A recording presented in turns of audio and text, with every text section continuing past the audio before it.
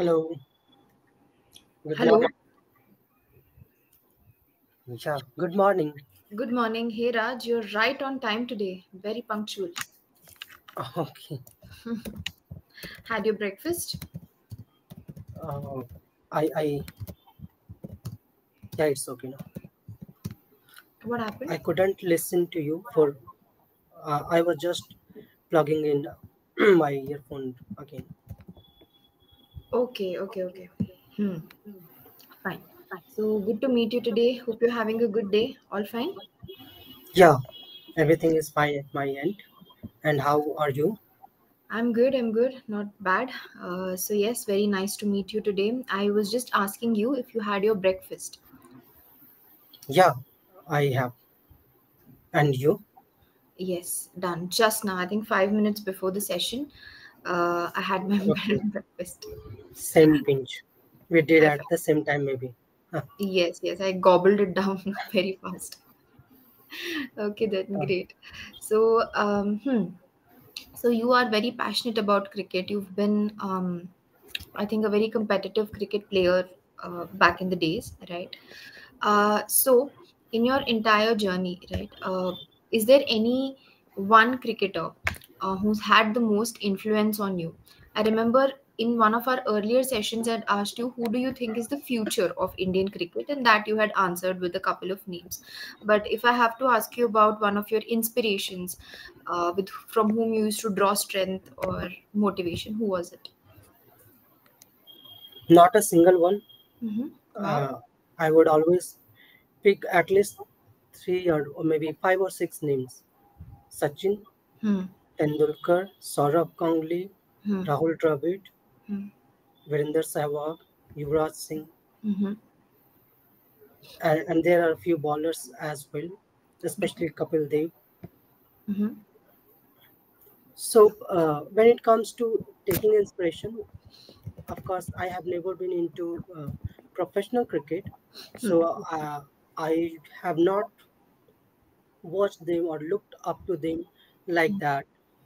But uh, to take uh, something in general, like uh, the patience that they have or they show, especially uh, Rahul Dravid, Hmm. the kind of patience he did not show only uh, on the field, but even off the field, he is so patient. Uh, same goes with Sachin Tendulkar. Yeah. So I, I learned these things from them. I, I try to imbibe that if I can get at least 1% of them, Yeah. that would be uh, more than enough. Nice. Because uh, even after achieving so much, they are Hmm. so down to earth. Hmm. So these things are surely to learn. Yes, truly. And um, for me personally, I think the story of Yuvraj Singh was quite inspirational. Um, at one point, he was diagnosed with cancer, right? And then after Yeah. Getting treated, he came back and again smashed uh, his opponents after his comeback, correct? And uh, uh, the major, uh, I mean, the best part of the story is Hmm. that he knew that he has uh, cancer, Hmm. yet he he had to play the World Cup Mm-hmm. 20, uh, 2011, and he went on to playing. After Yes. finishing that World Cup, he Yeah. went on to uh, uh, get treatment. Wow. Uh, truly, I think in order to uh, achieve anything significant in life, of course, you need to be very talented. But in addition to that, you should also have some solid mental strength, don't you think? Definitely. Hmm. Okay, great. So, uh, do you believe in engaging in positive self talk? Yeah, but I uh, feel that unless this positivity positivity comes from within, Hmm. you are not going to get anything uh, from such talks. Okay. can be encouraging for a few times or days, Hmm. but uh, after that, the effect of the same will fade away unless you practice it uh, on a regular basis. So Yeah. the motivation should always be be from within and not from uh, the outer uh, side, external side. Yes, yes, absolutely. And uh, one of the uh, biggest things that I've noticed about people who are extremely strong is uh, they don't speak too much about themselves. Uh, They don't speak too much in general, right? Uh, they speak as much as is needed. They're very pleasant throughout, of course. They're not rude, but uh, their words are very measured. That's something I've noticed. They don't let on too much as well. Definitely. Yeah. Yeah. It's nice observation. Yes. So, do you know anybody like this uh, who is a gem of a person and is also very measured with their words, don't speak too much, but are very pleasant to be around? In terms of celebrity, I have already taken the name. No, no, no. In And general, in your in social general, also, if there's someone like that. in, in general, of course, there are a few people like them, Hmm. but uh, not up to that level.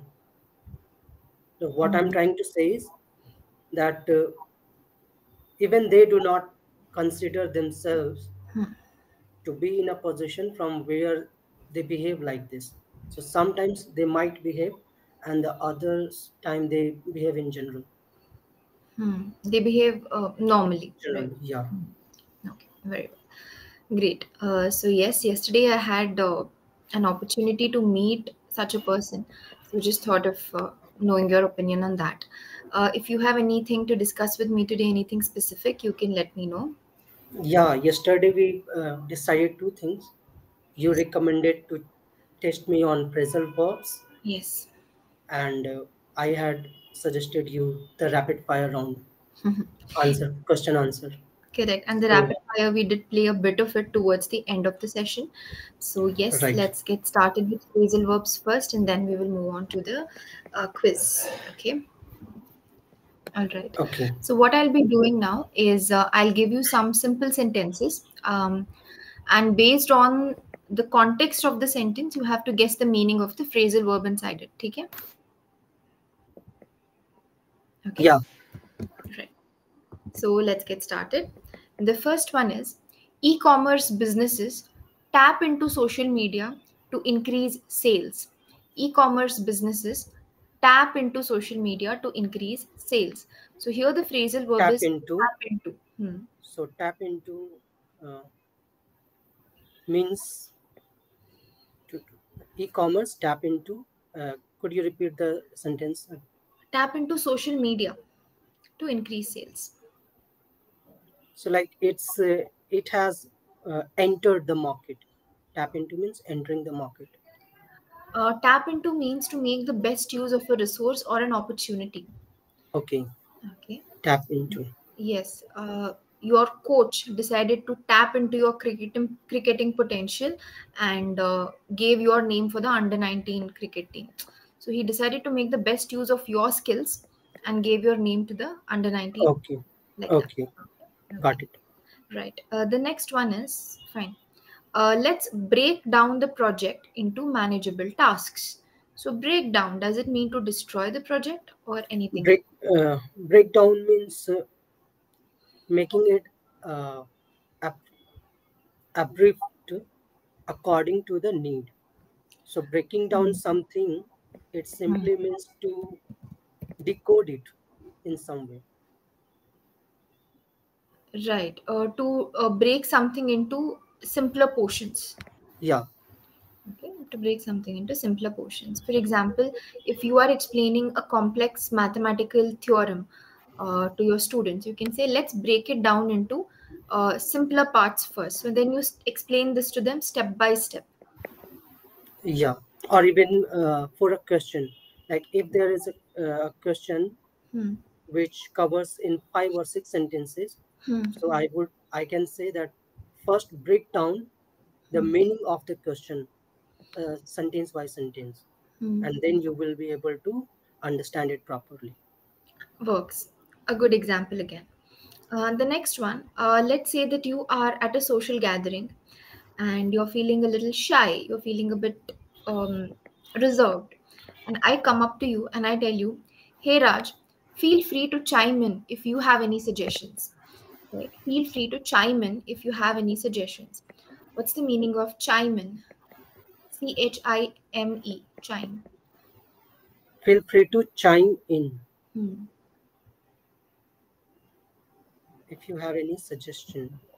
Yes. Uh, So understand the context also that you are feeling shy and reserved. You're not yeah, uh, really engaging in the conversation. And I'm telling you, chime in, give your suggestion. So yeah, you can think from the yeah. context. So from the context, it's it suggests that you have to come up with something which can uh, which can uh, brightens the party. Right. Uh, chime in is an invitation that you give to someone to join the conversation. Okay. okay. So the opposite of jump in maybe Not or opposite of jump in, a synonym of jump in. Syn- synonym of jumping. Yeah, jump Yeah, into the yes, conversation. Because Yeah. jumping is something that you do it on your own, and Mhm. others might not like that. So I thought, uh, in that context, I thought it as No, no, no, no, no, no. It's okay. You can even say, um, they were my friends were having a dis- discussion and I chimed in. So you can use it independently also. So it's not like always it has to be an invitation. It can even be an independent initiative. Okay. Okay. Yes. So you know these beautiful um, decor that people have in their home, uh, wind chimes. Wind chimes. Yes, you know when the wind comes, there are these small bells that people hang on Yeah, the uh, it course, makes a beautiful course. sound. Yeah. Right. that's chime it is to make a sound right Okay. okay and the next So, one so the phrasal verb come, uh, comes from there.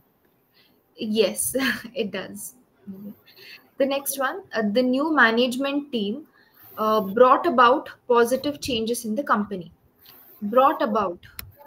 So if we just listen to brought about it sounds a little strange but now as part of the sentence the new management team brought about positive changes in the company. So what does that mean? So bring about, the brought about is the second form of bring about, true. And it simply means to uh, to bring something in, uh, some new change maybe,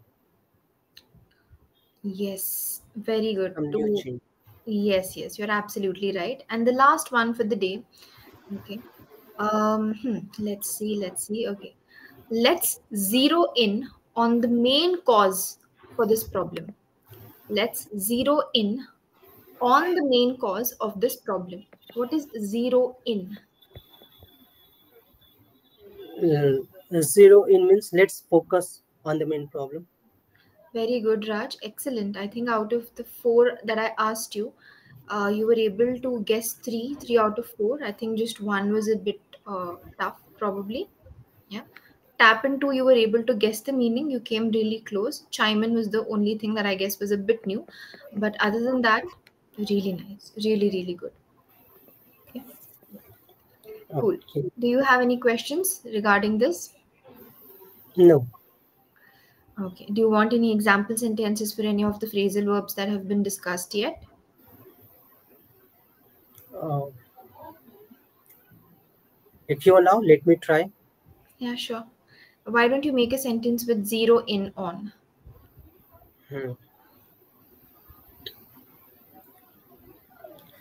So uh, whenever I, uh, uh, while teaching, I ask my students to Hmm. zero in on the main concept. Hmm. Hmm. Okay. Um. Yeah. One more, please. Whenever I am in any meeting Yes. and people are not interested, Mm-hmm. maybe talking on something else, I Mhm. ask them, please zero in on the uh, topic for which we are here. Very good. Very good. This is a great one. Okay. So you're asking them to specifically give their own opinions and focus, basically, to focus on Yeah. Okay, good one, good one. So yeah, that's about it. That's about some phrasal verbs. The basic phrasal verbs, I feel like you know them already. Uh, so these are considered to be phrasal verbs for C1, C2 level speakers. So because you have the Okay. potential, you would be able to easily imbibe it into your speech. So that was the whole point of choosing them specifically. Okay. Right, great. So moving on, uh, let's do that quick um, rapid fire, shall we? Definitely. Okay. So yesterday, what are some personalities that we had discussed? Uh, one was Sachin Tendulkar, next Mother Teresa, and Amitabh Bachchan. Did we discuss anyone else? Elon Musk. Elon Musk. Right, right. Elon Musk. Okay. So let's start. Yeah. The first one, Yuvraj Singh. A symbol of toughness that how even after being in critical situation you can focus on your main goal and then you can come back Hmm. from any situation. Great.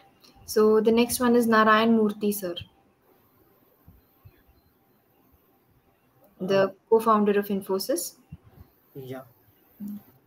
So, a great uh, businessman and a philanthropist. Hmm. Good. Yes, philanthropist, absolutely. The third one is uh, Shah Rukh Khan.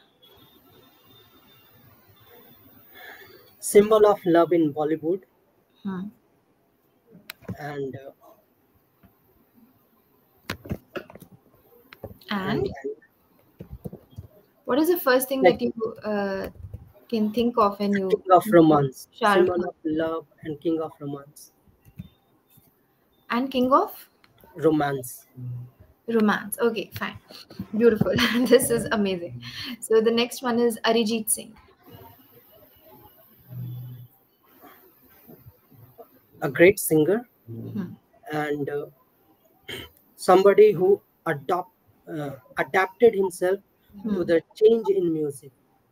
Hmm. And why I feel like this because Hmm. it was the year two, two, 2004 or 2000 sorry it was in year 2004 and 2005 Hmm. when the singers were uh, in reality shows Hmm. abhijit sawant rahul vaidya Yes. arijit singh so at Yes. that point of time arijit singh was not that famous and the others were quite famous but Hmm. the change change in music industry was adapted well by arijit singh and he went on to becoming a bigger star and they could not uh, match up to that level Absolutely. So he created, uh, he revolutionized the music industry.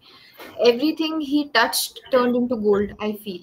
Um, I think the first song that can be considered as a breakthrough for his career, I think it was Tum Hi Ho from Aashiqui. I think that put, pushed him to the forefront. And from there, I think there was no looking back. He just went on to break one record after another.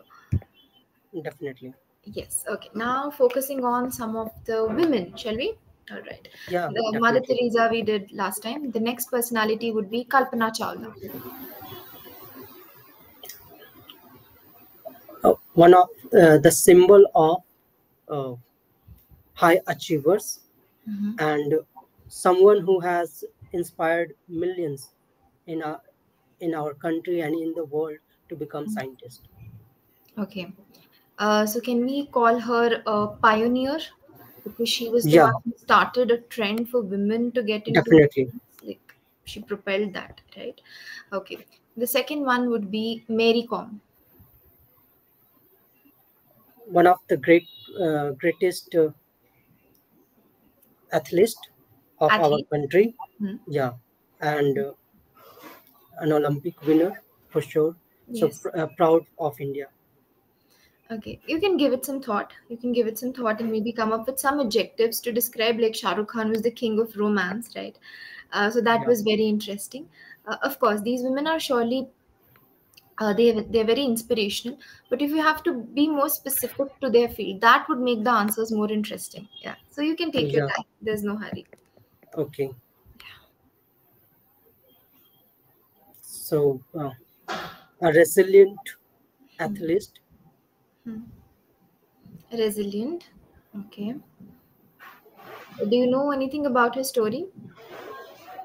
uh, nothing maybe i'm i'm even forgetting that in which year did she won That's uh, okay. Don't need the yeah details. Uh, like this, technical details are fine. But uh, if you don't know of her story, then surely you can watch um, some basic interviews of her. Okay, where she talks about her journey and her struggle, and she also faced a bit of racism as well during the initial stages. You know, um, yeah, she faced a bit of racism and how she overcame that. So you can surely check it out. Then maybe you would be able to come up with better things. Otherwise, if you don't know too much about the person, then I understand. Even I wouldn't be able to do it. Right? so it's okay. The next one, surely you would love to uh, describe her. Uh, Lata Mangeshkar ji. My God. A symbol of yes. uh, someone who is uh, treated as god of singing and uh, uh, the melodious voice she has Yes. see, and no matter which song you talk about Yeah. or all her songs Hmm. are an emotion to itself Hmm.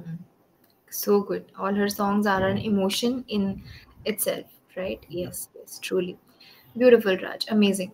So, um, the way your eyes just lit up when you heard Lata Mangeshkar, and then the smile on your face made it evident um, how much respect you have for her and her music, right? definitely Yes, I think out of all the names that we took, the one time your eyes just shone was for Lata Mangeshkar ji. so it was very nice to see. Good efforts, really good. For the celebrities um, uh, for whom you knew a lot of information about, um, you answered it really well. It, it touched uh, a chord with me. Like Shah Rukh Khan was the king of romance. Um, Arijit Singh was like a revolutionary in the field of music. Um, so it was really good. I'll give you two or three other figures. Uh, try to research about them. Okay and uh, yes you can just consider this as an assignment uh, and try to describe them in a sentence okay okay. All right. The first one is um, kiran bedi. Okay. Okay. Yes. Kiran bedi is the first one. And the second Yeah. person would be uh, jeff bezos. So uh, the founder of amazon. So jeff bezos and kiran bedi these are the two people uh, on whom you can just uh, research about a little bit and frame a sentence to describe them by summarizing their whole journey. Yeah yeah so even for kiran bedi i would say sure uh, someone who inspired a whole a whole lot of uh, girls to join in uh, IAS and IPS services Hmm. because she is the first woman IPS of India, and uh, all the things that she has done is remarkable. And when she joined uh, the Anna Hazare uh, movement, even at Hmm. that point of time, she did great. Hmm. But after that, I do not have the track of her works. Correct. I think after that, the media attention slowly started to fade away. But until that point of time, I think she was very, uh, she was prominent on media, in news channels, TV shows, interviews. So she was uh, in the And, news and, and at the same time, of course, she is a symbol of uh, the gender uh, whenever we talk about women empowerment. Yes. So she is uh, the symbol of that. And she has done great work in that field as well. Yes. Inspired many people and shown uh, to the society that how a woman can lead, Yes. or a, a woman can lead. Sorry, not a woman. A woman can lead. Can lead. Yes. You know, honestly, um, what what you were trying to say, I think, was uh, she broke gender stereotypes. That's what I guess. Yeah, of course. Yes, she broke the gender stereotypes. Truly, truly. Um, I think millions of years ago, or maybe even thousands of years ago, uh, women were in leadership positions, etc. And then gradually the power uh, diminished, right? And then again, there was a resurgence through women like these, like Kalpana Chawla, like Kiran Bedi. So there was a resurgence in women empowerment. I feel like what they did is actual feminism. What they did is actual women empowerment, which is to show women that yes, you are more than just your beauty. You have brain, you have strength, so you can use it for the benefit of the society. I feel like these women are the actual feminists and face of women empowerment. Definitely. Yeah. Okay, great. So I think uh, this has been one of the most uh, enriching conversations with you for sure. It was something different because it was a lot of activities blended into one session. So it was really Yeah. yeah. And if you have any queries or questions, uh, please let me know. You did a fabulous job, by the way. Really, really good. Okay. So uh, nothing, nothing special that I want to ask. Okay. It's just that I have not been able to catch that uh, pronunciation yet. Decision. decision. Is it Okay. coming good? No, both of the times it's coming at C, and the second time it's coming as Z. Okay. Can I tell you to pronounce shun? Shun. Right. Shun means what? To discard someone or something or isolate someone. Shunning Right. someone from the society. Shun. So now, decision. Can you say that? Decision. Perfect. You got it. So there is a bit of a j sound in decision, but um, if it's hard to pronounce, first you can try pronouncing it this way and then slowly add the z sound in it. But this is step one. Pronounce shun multiple times, combine it with deci, and you have decision. It is not completely incorrect, like decision. You know, this is much better. Okay. But uh, that is uh, particularly for this word. What about the other words with this with this sound, like vision? Vision. Vision. Is it vision or vision? vision. Vision. Yes, it is actually vision. Okay, but Yeah. if you notice carefully, the sh and j sound are mixed. So instead of completely eliminating the sure sound and making it vision, it is much easier to understand if you say vision. So at least the other person would get to know this is what you're trying to pronounce. And then after repeating it multiple times, slowly we can make alterations to how it should be. But this is the step one. I hope uh, I broke it down for you in this. Yeah, of course. Okay. So if I have to give you one word, uh, let's say M I S S I O N, how will you pronounce it? Mission. Uh, if I add P E R in front of it, Permission. uh, if I add A D in front of mission, Admission. if I add C O M in front of mission, Commission. if I add V I in front of S I O N, Vision. no, it's admission, permission, commission, vision. Vision. Just say vision, vision. Just say that. Vision. Vision. Yes, try that. Okay, try that. And then slowly we will add the Z sound. Don't focus on the Z sound now. Okay, Okay. now focus on pronouncing it how V I plus S H U N. Try to pronounce it like that. Try it. Vision. Perfect, Raj. It's good. It's good enough. Okay. Yeah. A bit of a solution, a bit of hope. Mm, Maybe. Yeah. Yes, truly. Uh, This is much better. If I tell you my vision is to be a doctor, you will know what I'm trying to say. But if I say my vision is to be a doctor, then it takes a bit of time to grasp what was just said, right? So you can try it this way. Okay. Okay. Wishing you the best. Uh, you did a great job. Even in the pronunciation task, you grasped what was what I was trying to say. So keep practicing, and you will reach there. Yeah. Okay. Okay, Raj. Take care. Bye bye. As always, it was lovely talking to you. Thank you so much. Bye for now. Have a great day ahead and see you in another session. Yes, I will. Take care. Bye bye.